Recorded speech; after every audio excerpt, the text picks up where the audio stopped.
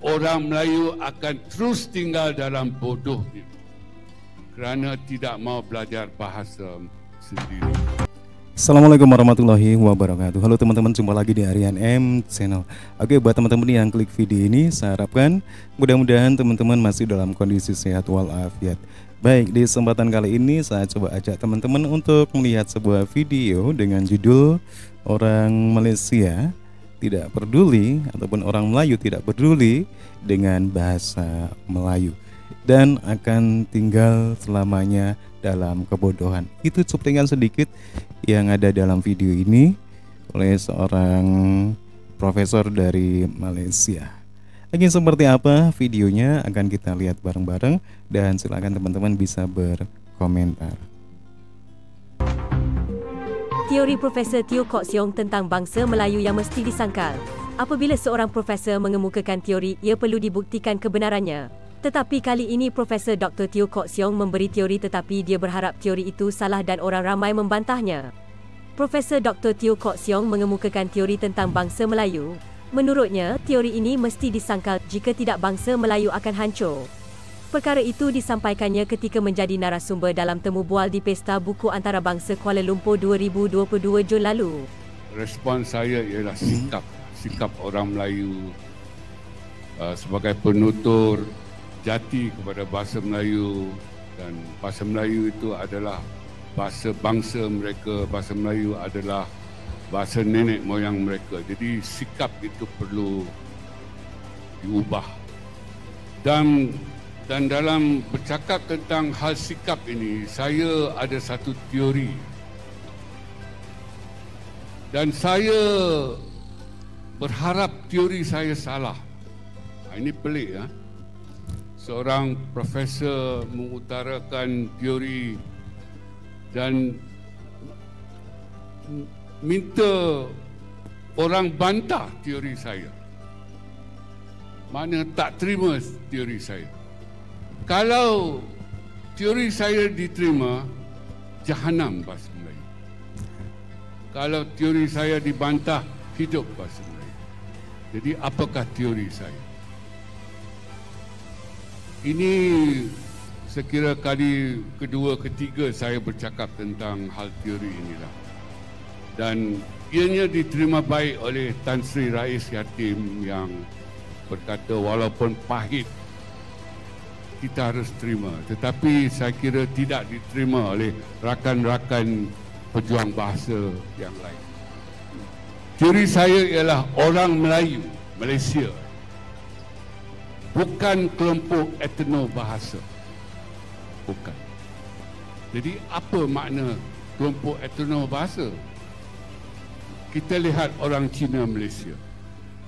Orang Cina Malaysia adalah kelompok etno bahasa lihat bagaimana mereka mempertahankan bahasa Cina itu melalui pendidikan Cina dengan izin overprotected.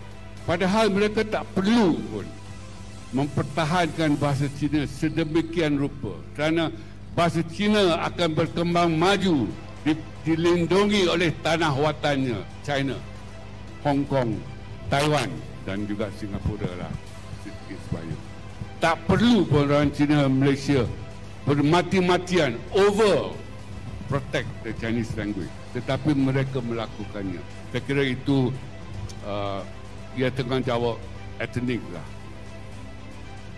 Hari ini 20 22 170 tahun kemudian keadaannya masih sama. Orang Melayu sebagian besarnya tak cakna terhadap bahasa Melayu. Yang pejuang ni boleh bilang dengan jari. Jadi itu teori saya. Orang Melayu bukan kelompok etno bahasa.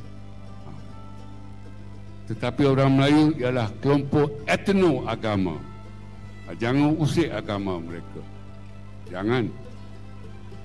Bila dipertikaikan tentang Islam, kita tengok yang yang membantah itu yang nak jadi barisan hadapan sampai nak bunuh dan kawan-kawan Melayu beritahu saya yang nak jadi barisan hadapan tu dia puasa pun tak pernah cukup semayang pun jarang-jarang. Tetapi hingga agamanya mereka sanggup berada di barisan hadapan. Tetapi untuk bahasa mereka sendiri ikut memperlekehkan bahasa mereka sendiri. Okay, pernah saya tegur sekumpulan uh, ya pengamal media ni pada satu ketika dahulu dalam rancangan reality ini kan? Kita nak perkenalkan uh, seseorang peserta itu maka kita kata lihat playback ini. Kan? Playback ini. Jadi saya pun kata takkan tak ada perkataan Melayu untuk playback uh, dia kata ada pai belakang. Takkan itu maknanya? Maknanya mereka sanggup mempersendakan bahasa mereka sendiri. Dengan kata oh kalau kita guna playback dalam bahasa Melayu kita akan guna ungkapan main belakang. Kan lucah kan? Takkan itu yang akan mereka gunakan tapi mereka sanggup memperlekehkan bahasa sendiri. Jadi saya kira teori saya itu harus ditolak. Kalau teori saya itu benar maka jahanamlah bahasa Melayu. Kalau teori saya salah hidup bahasa Melayu. Jadi ramai orang tak suka tentang teori saya ini. Tapi itulah penjelasan yang saya boleh berikan tentang mengapa orang Melayu tak begitu hirau tentang bahasa mereka. Mereka tak peduli kan? Hmm, dan itu telah dibuktikan melalui apa yang ditulis oleh Munshi Abdullah. Pada tahun 1850-an dalam dua karya beliau Pelayaran Abdullah dan Hikayat Abdullah. Ditulis di situ orang Melayu akan terus tinggal dalam bodoh kerana tidak mau belajar bahasa sendiri. Oke, demikian teman-teman ya, satu video dengan judul orang Melayu tidak peduli dengan bahasa Melayu ya.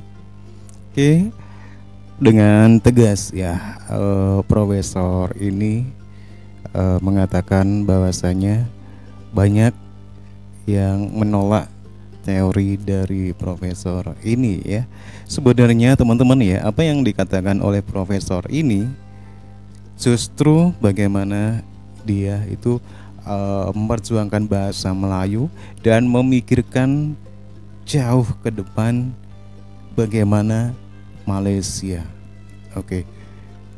Karena kita tahu bahwasanya di Malaysia itu kan uh, ada satu sistem pendidikan namanya vernacular ya yang mengajarkan uh, bahasa Cina untuk kaum Cina di sekolahan Cina dan di sana pun bahasa komunikasinya Cina. Dan sangat berkembang ya bahasa Cina di sana. Nah inilah justru ini yang kalau bisa kita tangkap ini yang menjadi kekhawatiran dari profesor ini teman-teman ya. Menjadi kekhawatiran dari profesor ini ya. 10 tahun, 20 tahun, 50 tahun yang akan datang.